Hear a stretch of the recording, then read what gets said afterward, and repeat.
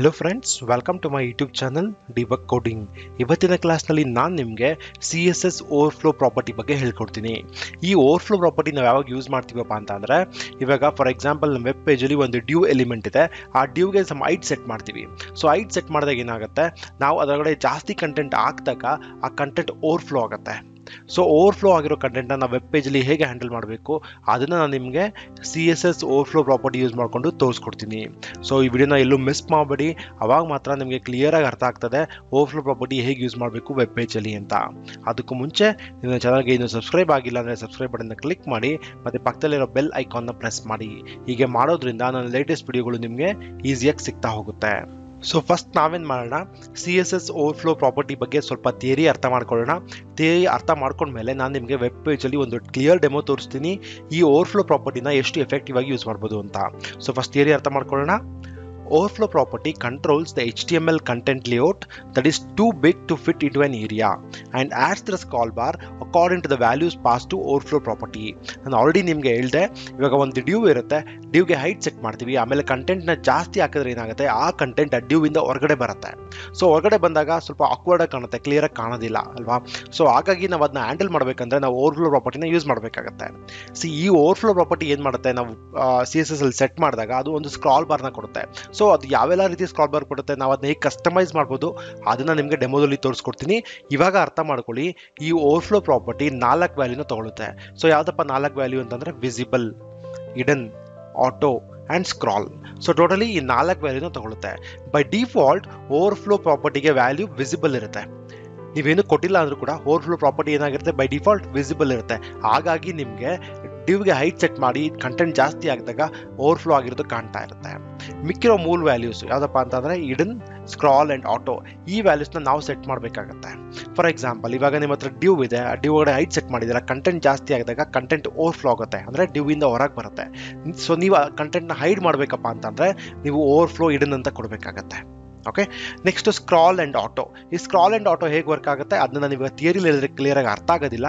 ನಿಮಗೆ ಡೆಮೋದಲ್ಲಿ hundred percent ಅರ್ಥ ಮಾಡಿಸೋದಕ್ಕೆ ಟ್ರೈ ಮಾಡ್ತೀನಿ. ಸೊ ಡೆಮೋನ ಕಂಪ್ಲೀಟ್ ಆಗಿ ನೋಡಿ ಎಲ್ಲೂ ಮಿಸ್ ಮಾಡಿಬಿಡಿ. ಅವಾಗ ಮಾತ್ರ ಈ ಓವರ್ಫ್ಲೋ ಪ್ರಾಪರ್ಟಿ ಎಷ್ಟು ಎಫೆಕ್ಟಿವ್ ಆಗಿ ನಾವು ವೆಬ್ ಪೇಜಲ್ಲಿ ಯೂಸ್ ಮಾಡ್ಬೋದು ಅಂತ ಕ್ಲಿಯರಾಗಿ ಗೊತ್ತಾಗ್ತಾ ಹೋಗುತ್ತೆ.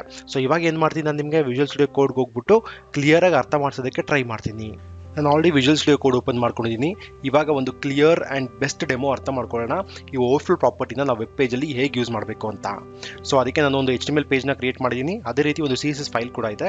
ಈ ಸಿ ಎಸ್ ಎಸ್ ಫೈಲ್ನ ನನ್ನ ಎಚ್ ಟಿ ಎಲ್ ಫೈಲ್ಗೆ ಲಿಂಕ್ ಮಾಡ್ಕೊಂಡಿದ್ದೀನಿ ಯಾಕಪ್ಪ ಅಂತ ಅಂದರೆ, ನಾನು ಏನೇ ಸಿ ಎಸ್ ಎಸ್ ಕೋಡ್ ಇಲ್ಲಿ ಬರೆದ್ರು, ಅಂದರೆ ಕ್ಲಾಸಸ್ ಬರಿಬೋದು ಐ ಡಿಸ್ ಬರಿಬೋದು, ಆ ಕ್ಲಾಸಸ್ ಮತ್ತು ಐ ಡಿಸ್ ನನ್ನ ಎಚ್ ಟಿ ಎಲ್ ಪೇಜಲ್ಲಿ ಕಾಲ್ ಮಾಡಿದಾಗ ಎಫೆಕ್ಟ್ ಆಗಿ ಎಫೆಕ್ಟಿವ್ ಆಗಿ ವರ್ಕ್ ಆಗಲಿ ಅಂತ.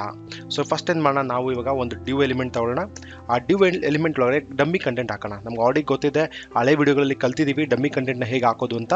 ಜಸ್ಟ್ ಲೋರೆಮ್ ಅಂತ ಟೈಪ್ ಮಾಡಿ ಅದನ್ನ ಸೆಲೆಕ್ಟ್ ಮಾಡಿದ್ರೆ ಸಾಕು. ಓಕೆ ಸೆಲೆಕ್ಟ್ ಮಾಡಿ ಸೇವ್ ಮಾಡೋಣ. ಸೇವ್ ಮಾಡಿದಾಗ ನಮ್ಮ ಫೈಲ್ ಔಟ್ಪುಟ್ ಈ ರೀತಿ ಬರುತ್ತೆ. ನೋಡಿ, ಈ ಥರ ಕಾಣಿಸ್ತಾ ಇದೆ ನಮ್ಮ ಕೋಡ್ ಅಲ್ವಾ? ಸೊ ಇವಾಗ ನಾನೇನು ಮಾಡಬೇಕು? ಈ ವೆಬ್ ಪೇಜ್ನ ನಿಮಗೆ ಫಸ್ಟ್ ಬ್ರೌಸಲ್ ರನ್ ಮಾಡಿ ತೋರಿಸ್ತೀನಿ, ಯಾವ ಥರ ಕಾಣುತ್ತೆ ಅಂತ. ಓಕೆ ಅದಕ್ಕೂ ಮುಂಚೆ ನಾನು ಸ್ವಲ್ಪ ಇದಕ್ಕೆ ಸ್ಟೈಲ್ಸ್ನ ಬರೀತೀನಿ. ಸೊ ಡ್ಯೂಗೆ ಒಂದು ಕ್ಲಾಸ್ನ ಸೆಟ್ ಮಾಡೋಣ. ಸೊ ಕ್ಲಾಸ್ ಹೆಸರು ಸೆಟ್ ಓವರ್ಫ್ಲೋ ಅಂತ ಕೊಡೋಣ. ಸೆಟ್ ಓವರ್ಫ್ಲೋ ಸೊ ಈ ಕ್ಲಾಸ್ನ ಕಾಪಿ ಮಾಡ್ಕೊತೀನಿ. ನನ್ನ ಸಿ ಎಸ್ ಎಸ್ ಫೈಲಲ್ಲಿ ಹೋಗ್ಬಿಟ್ಟು ಆ ಕ್ಲಾಸ್ಗೆ ನನ್ನ ಸ್ಟೈಲ್ಸ್ ಬರೀತೀನಿ. ಸೊ ಸ್ಟೈಲ್ಸ್ ಏನಪ್ಪ ಅಂದರೆ ಅದಕ್ಕೆ ಬಾರ್ಡರ್ ಹಾಕೋಣ. Border one pixel solid black save ಮಾಡೋಣ. ಇವಾಗ ಈ ಎಸ್ ಟಿ ಎಲ್ ಪೇಜ್ನ ಬ್ರೌಸರ್ ರನ್ ಮಾಡಿ ನೋಡೋಣ ಔಟ್ಪುಟ್ ಯಾವ ರೀತಿ ಬರುತ್ತೆ ಅಂತ. ಸೊ ನಾನು ಅದಕ್ಕೆ ಏನು ಮಾಡಿದ್ದೀನಿ ಈ ಫೋಲ್ಡರ್ನ ಡೆಮೋ ಫೋಲ್ಡರ್ನ ನಾನು ಡೆಸ್ಟಾಪಲ್ಲಿ ಸೇವ್ ಮಾಡಿದ್ದೀನಿ ಸೊ ಡೆಸ್ಟಾಪ್ಗೆ ನ್ಯಾವಿಗೇಟ್ ಆಗಿ ಈ ಡಬ್ ಈ ಎಸ್ ಟಿ ಎಲ್ ಫೈಲ್ ಮೇಲೆ ಡಬಲ್ ಕ್ಲಿಕ್ ಮಾಡಿದಾಗ ಔಟ್ಪುಟ್ ನಮಗೆ ಬ್ರೌಸರಲ್ಲಿ ಕಾಣುತ್ತೆ. ಸೊ ಡೆಸ್ಟಾಪ್ಗೆ ಹೋಗೋಣ. ನೋಡಿ, ಇಲ್ಲಿದೆ ಆ ಫೋಲ್ಡರ್ ಡಬಲ್ ಕ್ಲಿಕ್ ಮಾಡಿ. ಡಬಲ್ ಕ್ಲಿಕ್ ಮಾಡಿದಾಗ ನಿಮಗೆ ಡೆಮೋ ಡಿಜಿಟಲ್ ಫೈಲ್ ಕಾಣಿಸಿದೆ ಇದ್ರ ಮೇಲೆ ಡಬಲ್ ಕ್ಲಿಕ್ ಮಾಡಿದಾಗ ಅದು ಬ್ರೌಸರಲ್ಲಿ ರನ್ ಆಗಿ ನಮಗೆ ಔಟ್ಪುಟ್ ತೋರಿಸುತ್ತೆ. ನೋಡಿ, ಇಲ್ಲಿ ಔಟ್ಪುಟ್ ಕಾಣಿಸ್ತಾ ಇದೆ ಅಲ್ವಾ? ಬಟ್ ನಾವು ಬಾರ್ಡರ್ ಅಪ್ಲೈ ಮಾಡಿದ್ವಿ, ಅದು ಬರ್ತಾ ಇಲ್ಲ. ಅದೇನಕ್ಕೆ ಅಂತ ಇವಾಗ ಚೆಕ್ ಮಾಡೋಣ ಫಸ್ಟು ಸೊ ವಾಪಸ್ ಇಲ್ಲಿ ಹೋಗೋಣ. What is the class name set overflow ಅಲ್ವಾ? ಸೊ ಸೆಟ್ ಓವರ್ ಫ್ಲೋ ಇದೆ ಅಲ್ವಾ? ಹಾಂ ಇಯರ್ ನಾನು ಏನು ಮಾಡಿದ್ದೀನಿ ಒನ್ ಪಿಕ್ಸೆಲ್ ಕೊಡಬೇಕಿತ್ತು. ಬರೀ ಒನ್ ಎಕ್ಸ್ ಅಂತ ಕೊಡಿದ್ದೀನಿ ಸೊ ಪಿ ಮಿಸ್ ಆಗಿದೆ. ಅದನ್ನ ಆ್ಯಡ್ ಮಾಡೋಣ. ಸೇವ್ ಮಾಡಿದೆ. ವಾಪಸ್ಗೆ ಹೋಗ್ಬಿಟ್ಟು ಬ್ರೌಸರಲ್ಲಿ ರೀಫ್ರೆಶ್ ಮಾಡಿದ್ರೆ ನಿಮಗೆ ಬಾರ್ಡರ್ ಕಾಣುತ್ತೆ. ನೋಡಿ ಬಾರ್ಡರ್ ಕಾಣಿಸ್ತಾ ಇದೆ. ಸೊ ಇವಾಗ ನಾವು ಕಲಿಬೇಕಾಗಿರೋದು ಯಾವುದಪ್ಪ ಅಂದರೆ overflow property so overflow property ಕಲಿಬೇಕಂತಂದರೆ ನಾನೇನು ಮಾಡಬೇಕು? ಫಸ್ಟ್ ಈ ಎಲಿಮೆಂಟ್ಗೆ ಸ್ವಲ್ಪ ಹೈಟ್ ಸೆಟ್ ಮಾಡೋಣ ಮತ್ತು ವಿಡ್ ಸೆಟ್ ಮಾಡೋಣ. ಸೊ ವಾಪಸ್ ಇಲ್ಲಿ ಹೋಗ್ತೀನಿ. ಇಲ್ಲಿ ಬಂದು ನಾನೇನು ಹೇಳ್ತೀನಿ? ಹೈಟ್ ಸೆಟ್ ಮಾಡ್ತೀನಿ. ಹೈಟ್ ಒನ್ ಫಿಫ್ಟಿ ಪಿಕ್ಸೆಲ್ ಕೊಡ್ತೀನಿ. ಅದೇ ರೀತಿ ವಿಡ್ತ್ ಒನ್ ಫಿಫ್ಟಿ ಪಿಕ್ಸೆಲ್ ಕೊಡ್ತೀನಿ. ಸೇವ್ ಮಾಡ್ತೀನಿ. ವಾಪಸ್ಸು ನಮ್ಮ ಬ್ರೌಸರ್ಗೆ ಹೋಗಿ ರೀಫ್ರೆಶ್ ಮಾಡಿ ನೋಡೋಣ ಔಟ್ಪುಟ್ ಯಾವ ರೀತಿ ಕಾಣುತ್ತೆ ಅಂತ. ನೋಡಿ ಇಲ್ಲಿ ನಾವೇನು ಮಾಡಿದೆ, ಈ ಡ್ಯೂ ಎಲಿಮೆಂಟ್ಗೆ ಹೈಟ್ ಆ್ಯಂಡ್ ಬಿಟ್ನ ಸೆಟ್ ಮಾಡಿದೆ. So height and width set ಮಾಡಿದ್ದಕ್ಕೆ ಏನಾಯಿತು, ಈ ಕಂಟೆಂಟ್ ಇದ್ರೊಳಗಡೆ ಏನಿದೆ ಜಾಸ್ತಿ ಇದೆ, ಅಂದರೆ ಈ ಡ್ಯೂ ಕೆಪಾಸಿಟಿಗಿಂತ ಜಾಸ್ತಿ ಕಂಟೆಂಟ್ ಇದೆ. ಸೊ ಹಾಗಾಗಿ ಕಂಟೆಂಟ್ ಓವರ್ಫ್ಲೋ ಆಗ್ತದೆ ಸೊ ಆಲ್ರೆಡಿ ನಿಮಗೆ ಹೇಳಿದೆ ಓವರ್ಫ್ಲೋ ಪ್ರಾಪರ್ಟಿ ನಾಲ್ಕು ವ್ಯಾಲ್ಯೂ ತೊಗೊಳುತ್ತೆ. ಯಾವುದಪ್ಪ ಅಂತಂದರೆ ಒಂದು ವಿಸಿಬಲ್ ಡಿಫಾಲ್ಟಾಗಿ ವಿಸಿಬಲ್ ಇವಾಗ ನೋಡಿ, ಈ ಕಂಟೆಂಟ್ ಓವರ್ಫ್ಲೋ ಆಗ್ತಿರೋದು ನಿಮಗೆ ವಿಸಿಬಲ್ ಕಣ್ಣಿಗೆ ಕಾಣಿಸ್ತಾ ಇದೆ. So overflow visible is the default property value ಅದೇ ರೀತಿ ನಾ ಮಿಕ್ಕಿದ ಮೂರಿದೆ, ಯಾವುದಪ್ಪ ಅಂತಂದರೆ ಸ್ಕ್ರಾಲ್ ಆಟೋ ಮತ್ತು ಇಡನ್ ಸೊ ಇವಾಗ ನಾವು ಈ ಕಂಟೆಂಟ್ ಓವರ್ಫ್ಲೋ ಆಗೋದನ್ನ ಕಾಣಿಸದೇ ಇರೋ ಥರ ಮಾಡಬೇಕು, ಅಂದರೆ ಐಡ್ ಮಾಡಬೇಕು. ಅದು ಹೇಗೆ ಸಾಧ್ಯ? ವಾಪಸ್ ಇಲ್ಲಿ ಹೋಗ್ತೀನಿ. ಅದನ್ನ ತೋರಿಸ್ತೀನಿ. ಫಸ್ಟ್ ನಿಮಗೆ ಓವರ್ಫ್ಲೋ ವಿಸಿಬಲ್ ತೋರಿಸ್ತೀನಿ. ನೋಡಿ ಓವರ್ಫ್ಲೋ ವಿಸಿಬಲ್ ನಾವು ಸೆಟ್ ಮಾಡಿದ್ರೆ ಏನು ಯೂಸ್ ಇಲ್ಲ. ಯಾಕಂದರೆ ಓವರ್ಫ್ಲೋ ವಿಸಿಬಲ್ ಅಂದರೆ ಬೈ ಡಿಫಾಲ್ಟ್ ಕಂಟೆಂಟ್ ವಿಸಿಬಲ್ ಕಾಣ್ತಾ ಇದೆ ಓವರ್ಫ್ಲೋ ಆಗ್ತಿರೋದು. ನೋಡಿ ರಿಫ್ರೆಶ್ ಮಾಡಿದಾಗ ನಥಿಂಗ್ ಚೇಂಜ್ ಆಪೆಂಟ್ ಯಾಕಂದರೆ ನಮಗೆ ಕಾಣ್ತಾ ಇದೆ ಓವರ್ಫ್ಲೋ ವಿಸಿಬಲ್ ಅಂದರೆ ಕಂಟೆಂಟ್ ಓವರ್ಫ್ಲೋ ಆಗೋದು ತೋರಿಸು ಅಂತ.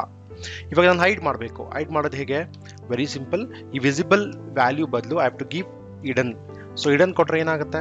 ಅದನ್ನ ಇವಾಗ ತೋರಿಸ್ತೀನಿ ನೋಡಿ. ರಿಫ್ರೆಶ್ ಮಾಡೋಣ. ರಿಫ್ರೆಶ್ ಮಾಡಿದಾಗ ನೀವು ಇಲ್ಲಿ ಅಬ್ಸರ್ವ್ ಮಾಡ್ಬೋದು. ಓವರ್ ಫ್ಲೋ ಆಗಿದ್ದ ಕಂಟೆಂಟ್ ಅಂದರೆ ಡ್ಯೂ ಒಳಗಡೆ ಏನಿದೆ ಆ ಕಂಟೆಂಟ್ ಮಾತ್ರ ಕಾಣುತ್ತೆ ಅದರ ಹೊರಗಡೆ ಬಂದಿರೋ ಕಂಟೆಂಟ್ ಕಾಣ್ತಾ ಇಲ್ಲ. So overflow hidden prop hidden value ಏನು ಮಾಡುತ್ತೆ? It hide the overflow content overflow ಆಗಿರೋ ಕಂಟೆಂಟ್ನ ಹೈಡ್ ಮಾಡುತ್ತೆ. ಬಟ್ ನಮ್ಗೆ ಅದು ರಾಂಗ್ ವೇ ಅಲ್ವಾ? ನಾವು ಆ ಕಂಟೆಂಟ್ನ ಓದಬೇಕು ಅಂದರೆ ಹೇಗೆ ಸಾಧ್ಯ? ಓದೋದಕ್ಕಾಗಲ್ಲ ಇವಾಗ ನಾವು ಆ ಕಂಟೆಂಟ್ನ ರೀಡ್ ಮಾಡಬೇಕಂದ್ರೆ ಏನು ಮಾಡಬೇಕು? ಈ ಡ್ಯೂಗೆ ನಾವು ಸ್ಕ್ರಾಲ್ ಬಾರ್ ಆ್ಯಡ್ ಮಾಡಬೇಕು. ಸ್ಕ್ರಾಲ್ ಬಾರ್ ಆ್ಯಡ್ ಮಾಡಿದಾಗ ಏನಾಗುತ್ತೆ? ನಾವು ಹಿಂಗೆ ಸ್ಕ್ರಾಲ್ ಮಾಡಿದಾಗ ಐಡ್ ಆಗಿರೋ ಕಂಟೆಂಟ್ ಕೂಡ ಕಾಣುತ್ತೆ. ಸೊ ಅದಕ್ಕೆ ನಾನು ಇವಾಗ ವಾಪಸ್ ಇಲ್ಲಿ ಹೋಗ್ಬಿಟ್ಟು ಏನು ಮಾಡ್ತೀನಿ? ಇಡನ್ ಬದಲು I can give scroll save ಮಾಡಿದೆ. ಸೇವ್ ಮಾಡಿ ವಾಪಸ್ ಹೋಗ್ಬಿಟ್ಟು ಬ್ರೌಸಲ್ಲಿ ರಿಫ್ರೆಶ್ ಮಾಡೋಣ. ನೀವು ಇಲ್ಲಿ ಅಬ್ಸರ್ವ್ ಮಾಡ್ಬೋದು, ನನಗೆ ಸ್ಕ್ರಾಲ್ ಬಾರ್ ಬಂತು. ಸ್ಕ್ರಾಲ್ ಬಾರ್ ಬಂದಿರೋದ್ರಿಂದ ಈ ಡ್ಯೂ ಹೊರಗಡೆ ಬಂದಿರೋ ಕಂಟೆಂಟ್ ಕೂಡ ಇದ್ರೊಳಗಡೆ ಇದೆ. ಸ್ಕ್ರಾಲ್ ಮಾಡಿದಾಗ ನಮ್ಗೆ ಅದು ಕಾಣಿಸುತ್ತೆ. ನೋಡಿ ಇಲ್ಲಿ.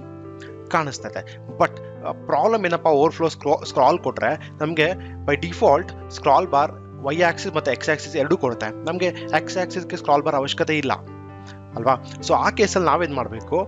ವೆರಿ ಸಿಂಪಲ್ ಸ್ಕ್ರಾಲ್ ಬದಲು ಆಟೋ ಕೊಡಬೇಕು. ಅಂದರೆ ಬ್ರೌಸರ್ಗೆ ಹೇಳ್ತಾ ಇದ್ದೀರಾ ನೀವು ಸ್ಕ್ರಾಲ್ ಬಾರ್ನ ಎಲ್ಲಿ ಬೇಕೋ ಅದನ್ನ ಆಟೋಮೆಟಿಕಾಗಿ ನೀನೇ ಡಿಸೈಡ್ ಮಾಡಿ ಅಪ್ಲೈ ಮಾಡುವಂತ ಸೊ ಇವಾಗ ನಾನು ರಿಫ್ರೆಶ್ ಮಾಡಲ್ಲ. ನೋಡಿ ಓವರ್ ಫ್ಲೋ ಸ್ಕ್ರಾಲ್ ಕೊಟ್ಟಾಗ ನಾವು ಹೇಳಿದ್ವಿ ಸ್ಕ್ರಾಲ್ ಬಾರ್ ಹಾಕು ಅಂತ ಬಟ್ ಸ್ಪೆಸಿಫಿಕ್ ಆಗಿ ಹೇಳಿಲ್ಲ. ಆರಿಜಾಂಟಲಾಗಿ ಬೇಕಾ ವರ್ಟಿಕಲ್ ಆಗಿ ಬೇಕಾ ಅಂತ. ಸೊ ಅದಕ್ಕೆ ಅದು ಎರಡು ಕಡೆನೂ ಕೊಟ್ಟಿದೆ. ಇವಾಗ ನಾವು ಸ್ಪೆಸಿಫಿಕ್ ಆಗಿ ಬ್ರೌಸರ್ಗೆ ಹೇಳ್ತಾ ಇದೀವಿ ಓವರ್ಫ್ಲೋ ಆಟೋ ಅಂದರೆ ಬ್ರೌಸರ್ಗೆ ಹೇಳ್ತಾ ಇದೀವಿ, ನೀನೇ ಡಿಟೆಕ್ಟ್ ಮಾಡು, ಎಲ್ಲಿ ಸ್ಕ್ರಾಲ್ ಬಾರ್ ಬೇಕೋ ಅಲ್ಲಿ ಆ್ಯಡ್ ಮಾಡು ಅಂತ. ಸೊ ಹಾಗಾಗಿ ನಾನು ರಿಫ್ರೆಶ್ ಮಾಡಿದಾಗ ನೀವು ಇಲ್ಲಿ ಅಬ್ಸರ್ವ್ ಮಾಡ್ಬೋದು ಎಕ್ಸ್ ಆಕ್ಸಿಸ್ ಅಂದರೆ ಆರಿಜಾಂಟಲ್ ಆಗಿ ಸ್ಕ್ರಾಲ್ ಬಾರ್, ಬರ್ತಾ ಇಲ್ಲ.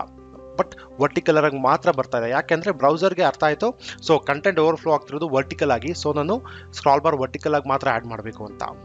ಸೊ ಅರ್ಥ ಆಯ್ತು ಅಂದ್ಕೊಂತೀನಿ ಓವರ್ಫ್ಲೋ ಪ್ರಾಪರ್ಟಿ ನಾವು ಎಷ್ಟು ಎಫೆಕ್ಟಿವ್ ಆಗಿ ಯೂಸ್ ಮಾಡ್ಬೋದು. ಅದು ನಾಲ್ಕು ವ್ಯಾಲ್ಯೂಗಳು ತಗೊಳುತ್ತೆ. ಒಂದು visible hidden scroll and auto so ಇದನ್ನ ನಿಮ್ಮ ಸಿನಾರಿಗಳಿಗೆ ತಕ್ಕಂಗೆ ನೀವು ವೆಬ್ ಪೇಜಲ್ಲಿ ಯೂಸ್ ಮಾಡ್ತಾ ಹೋಗ್ಬೋದು.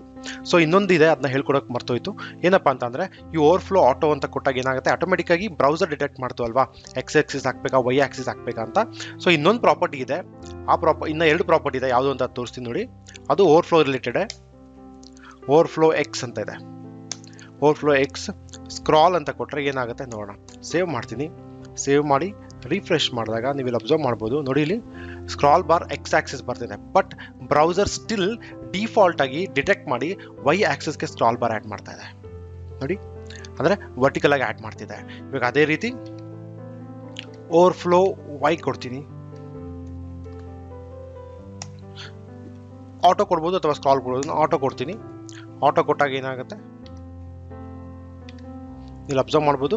ವೈ ಆಕ್ಸಿಸ್ ಅಂದರೆ ಸ್ಪೆಸಿಫಿಕ್ ಆಗಿ ಹೇಳ್ತೀನಿ. ಓವರ್ಫ್ಲೋ ವೈ ಅಂದರೆ ವರ್ಟಿಕಲ್ನ ನಾವು ವೈ ಆಕ್ಸಿಸ್ ಕನ್ಸಿಡರ್ ಮಾಡ್ತೀವಿ ಆರಿಜಾಲ್ಟ್ನ ಎಕ್ಸ್ ಆಕ್ಸಿಸ್ ಕನ್ಸಿಡರ್ ಮಾಡ್ತೀವಿ. ಸೊ ಓವರ್ಫ್ಲೋ ವೈ ಕೊಟ್ಟಾಗ ವರ್ಟಿಕಲ್ ಆಗಿ ಮಾತ್ರ ಸ್ಕ್ರಾಲ್ ಬಾರ್ ಆ್ಯಡ್ ಮಾಡ್ತಿದೆ. ಅದೇ ರೀತಿ ನಾನು ಇಲ್ಲಿ ಚೇಂಜ್ ಮಾಡಿ ತೋರಿಸ್ಬೋದು ನಿಮಗೆ. ಸೇವ್ ಮಾಡೋಣ. ಆಲ್ರೆಡಿ ತೋರಿಸಿದೆ, ಮತ್ತೆ ತೋರಿಸ್ತೀನಿ. ಓವರ್ಫ್ಲೋ ಎಕ್ಸ್ ಆಟೋ ಕೊಡೋಣ. ಆಟೋ ಕೊಟ್ಟರೆ ಏನಾಗುತ್ತೆ? ನೀವು ಕೇಳ್ಬೋದು ಸರ್ ನೋಡಿ ಇಲ್ಲಿ ರಿಫ್ರೆಶ್ ಮಾಡಿದೆ. ಸೊ ನಾನೇನು ಮಾಡಿದೆ? ಓವರ್ಫ್ಲೋ ಎಕ್ಸ್ ಆಟೋ ಅಂತ ಕೊಡ್ತಾ ಇದ್ದೀನಿ. ಬಟ್ ಎಕ್ಸ್ ಆಕ್ಸಿಸ್ಗೆ ಬರ್ತಾ ಇಲ್ಲ. ಯಾಕೆ ಅಂದರೆ ಓವರ್ಫ್ಲೋ ಎಕ್ಸ್ ಆಟೋ ಅಂದರೆ ಬ್ರೌಸರ್ಗೆ ಹೇಳ್ತೀನಿ ಆಟೋಮೆಟಿಕ್ ನೀನು ಡಿಸೈಡ್ ಮಾಡು. ಎಕ್ಸ್ ಆಕ್ಸಿಸ್ಗೆ ಸ್ಕಾಲ್ ಬಾರ್ ಬೇಕಾ, ಬೇಡವಾ ಅಂತ. ಬಟ್ ಅದು ಬೇಕಾಗಿಲ್ಲ ಸೊ ಹಾಗಾಗಿ ಇದು ಕೊಡ್ತಾ ಇಲ್ಲ.